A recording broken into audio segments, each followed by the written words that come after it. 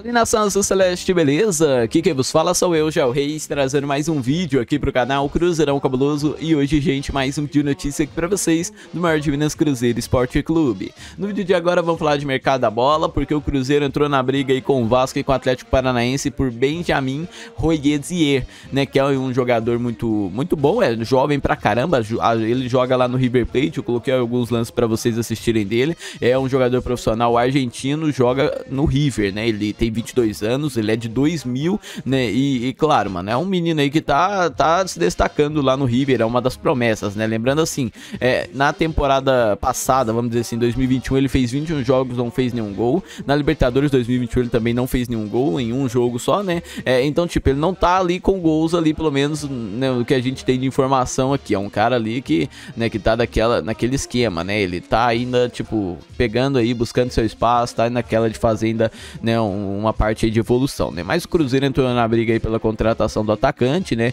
Ele é mais ali, vamos dizer assim, um ponta esquerda, né? Um jogador ali no ataque, mas ele joga mais pelas beiradas do campo também, né? E agora o Cruzeiro vai entrar na briga aí com o Vasco, com a 77 Partners, com o Atlético Paranaense pela contratação aí, né, desse jogador, né? É, há uma proposta na mesa do Cruzeiro, do Atlético Paranaense também, né? Junto à do Vasco pelo Benjamin Rolesier, mas o contato aí com o Vasco, pela informação que a gente tem, é mais forte por causa da 777 777, né, que tá aí querendo gastar uma grana também, né? Lembrando que, por exemplo, a 777 ainda não é dona do Vasco, né? Só deram a grana lá, mas vai tentar dar aquela moral. Só que daquele, daquele jeito, né? O Cruzeiro aí tem uma nova administração e tudo mais, já tá tudo resolvido, né? Claro, tudo, quase tudo, porque ainda tá uma bagunça no conselho, mas daquele jeito, né? A gente ainda tá em busca de reforços. Galera, antes de continuarmos aqui, eu quero pedir para você deixar o like se gostar, se não for inscrito no canal e é novo por aqui, se inscreve, ativa o sininho, compartilha o vídeo com seus amigos e deixe nos comentários a sua sua opinião, beleza? Bora falar então de mercado da bola, porque o Cruzeiro ele entrou na briga,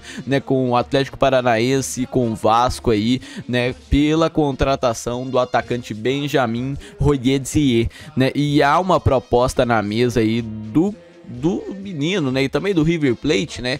Tanto do Cruzeiro quanto do Atlético Paranaense, né? Junto aí com a do Vasco, né? É pelo por esse jogador, né? É, mas claro, galera, hoje a gente sabe aí, né, que tem alguns limites financeiros. O Cruzeiro não é um time que tá querendo gastar muita grana em contratação, né?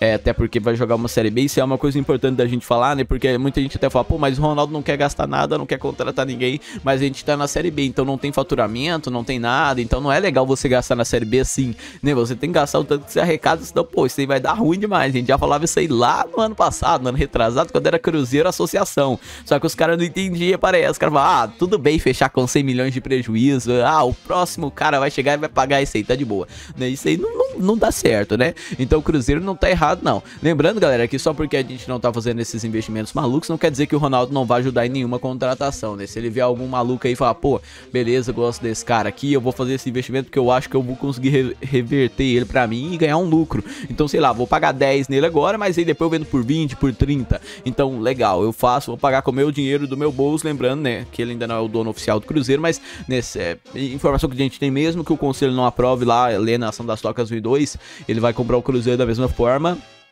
Claro que ele tá querendo jogar um verde falando, ó, oh, não vai dar e tal, mas né, pelo que a gente tem de informação, ele não quer largar, não. Não quer, e isso aí é muito bom, né? Eu tô fechado com o Ronaldo aí pelo trabalho que ele vem desempenhando. É, e assim, galera, esse menino é muito bom, só que, claro, ele ainda tá crescendo ainda, tem 22 anos, tem muita coisa ainda para melhorar. É um cara aí que tá se destacando lá no River Plate, por mais que não tenha não, não, esteja fazendo aí tantos gols, né? Mas é um menino jovem, é um cara bom, né? E, e, claro, se a gente conseguir meio que fazer essa contratação aí, vai reforçar demais o nosso time pra Série B, né? Então, claro, o Cruzeiro segue nas negociações está na briga aí com duas equipes que, né, que também tem uma grana agora considerável, né? O Vasco também tá com uma graninha legal. O Atlético Paranaense, pô, tem a melhor estrutura aí do Brasil, né? Tem dinheiro pra caramba se quiser também. E é um time forte aí pra disputar, até porque vai jogar Libertadores. Então, no meu ponto de vista, o Atlético Paranaense ele vai na frente aí. Só que, claro, o Vasco já tá conversando há um tempo com o cara lá e o Cruzeiro tá na briga. O Atlético também, né? Agora a gente veio que esperar pra ver o que, que vai acontecer e qual será o desfecho dessa negociação, beleza? Então, galera, esse é o vídeo de agora. Obrigado a todos que assistiram até aqui. Se gostou, deixa o like aí embaixo. Se ainda não foi inscrito no canal e é novo por aqui, se inscreve, ativa o sininho, compartilha o vídeo com seus amigos e deixe aí nos comentários a sua opinião. Obrigado a todos, valeu, até a próxima. Fui, tchau, tchau.